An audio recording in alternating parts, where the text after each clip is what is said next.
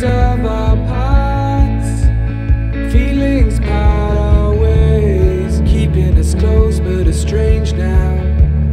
Dreams holding us closer.